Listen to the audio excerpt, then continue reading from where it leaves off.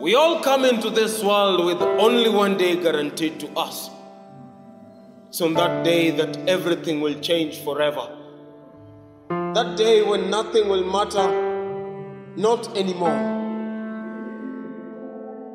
I know this from those that went before me. It's on that day that I'll be at peace. My eyes will be closed. My voice will be lost and my drive will be at a halt. But my spirit